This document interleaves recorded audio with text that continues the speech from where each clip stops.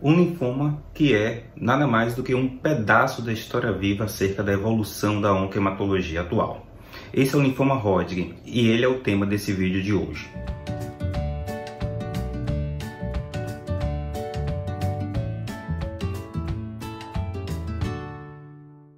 Olá, meu nome é Jeitson Cruz, sou médico hematologista do canal Hemato Noé.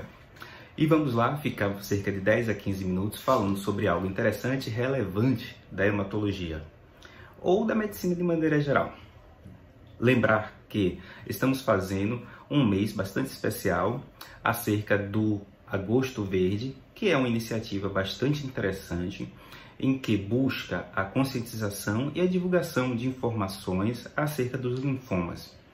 Nós sabemos que no nosso país informação é algo que ainda é carente e por isso esse canal está presente para ajudar na divulgação de informações científicas, na divulgação de conhecimento de forma mais simples, não errada, ou seja, de forma confiável. Hoje vamos falar sobre o linfoma de Hodgkin. Por quê? Porque nós achamos que é importante o conhecimento dessa informação e assim conscientizar a importância do diagnóstico precoce e permitir assim o tratamento adequado desses pacientes. O linfoma Hodgkin é uma doença caracterizada por uma proliferação anormal de linfócitos B. Essa informação, apesar de hoje difusamente conhecida, é uma informação relativamente recente, pois ela data do final do século passado. Anteriormente, buscava-se muito de onde é que era originária a célula que dava origem ao linfoma Hodgkin. A gente sabe que a doença não é uma doença nova, ela foi descrita no final do século XIX aproximadamente, e com a descrição de achados patológicos, notou-se que essas pessoas que tinham o diagnóstico da doença de Hodgkin e recebem esse nome devido à descrição levada inicialmente pelo autor Thomas Hodgkin a partir de achados patológicos de pacientes que possuíam gânglios aumentadas associada a uma doença progressiva que levava a febre, perda de peso e a morte dos pacientes. A célula que dava origem a essa doença foi descrita somente posteriormente por Dorothy Reed e Carl Sternberg. Daí o nome de Reed-Sternberg, o nome da célula, que é a célula maligna no caso do linfoma Hodgkin. Essa célula ela é bem característica, ela possui inclusive marcadores bem característicos na sua superfície e ela é rodeada por um background não necessariamente maligno. Posteriormente, a avaliação mais detalhada de pessoas com doença de Hodgkin levou à descrição de que nem todos possuíam aquela forma clássica da célula de Wittenberg como a gente aprende nos bancos de faculdades, que é aquela célula grande com um núcleo é, bilobulado ou binuclear, formando como se fosse um aspecto em olho de coruja. Notou-se posteriormente que havia células com marcadores semelhantes à sua superfície e essa célula recebeu o nome de célula de Hodgkin. Ainda, em alguns casos de linfoma Hodgkin, também recebe o nome de popcorn cell.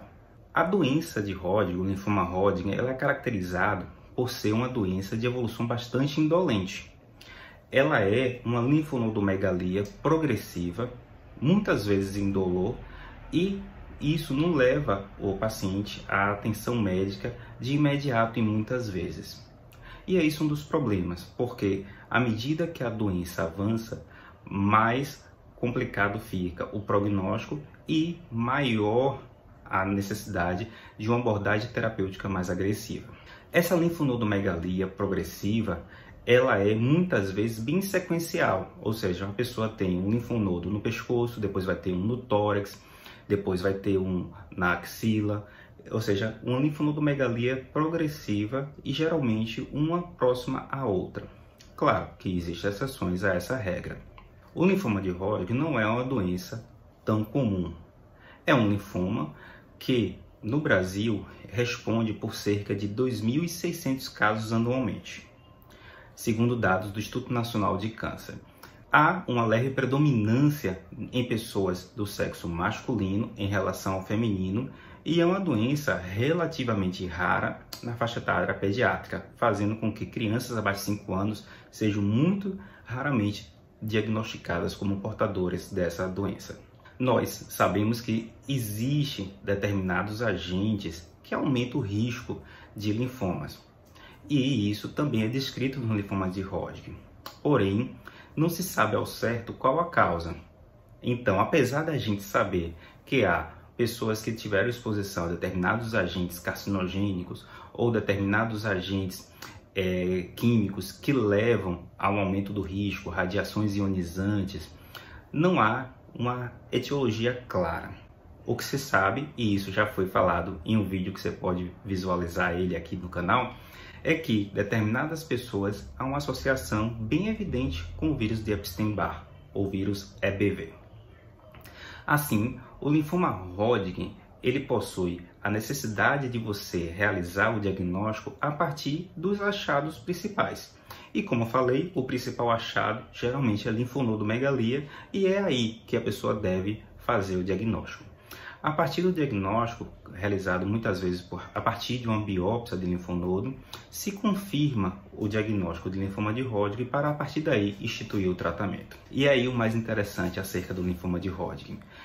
Como eu falei no início, ele é uma verdadeira história viva acerca da evolução da quimioterapia, da radioterapia e de como eu posso utilizar desses tratamentos na forma de fazer com que o paciente tenha cada vez mais melhores respostas com cada vez menos toxicidade.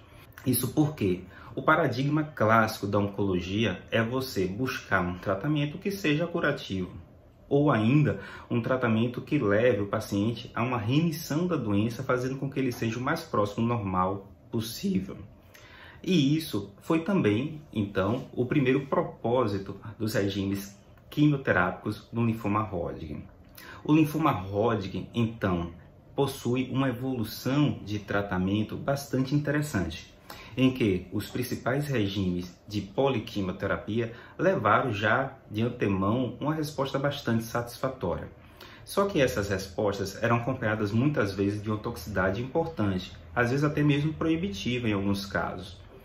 A evolução de novos agentes quimioterápicos, da pesquisa de como essa combinação de agentes pode levar a uma resposta melhor, fez com que surgissem esquemas quimioterápicos mais modernos e atualmente a quimioterapia leva a uma sobrevida superior a 86% nos pacientes com linfoma de Hodgkin. Claro que existem fatores que fazem fazer com que o paciente tenha uma resposta mais favorável e outras menos favoráveis. E é aí o grande desafio do linfoma de Hodgkin. Haja vista que, hoje, a maior parte dos pacientes curam com quimioterapia associada ou não à radioterapia, dependendo do estágio clínico, fica ainda alguma porcentagem de pacientes que não têm uma doença facilmente curável e que necessitarão de terapias adicionais, inclusive transplante de células tronco autólogo ou até mesmo terapias posteriores. Então, o grande questionamento hoje da, do tratamento do linfoma de Hodgkin é fazer com que o tratamento seja bastante eficaz com menor toxicidade possível. Isso por quê? Porque muitas das pessoas que curaram do linfoma Hodgkin podem ter complicações tardias oriundas do tratamento.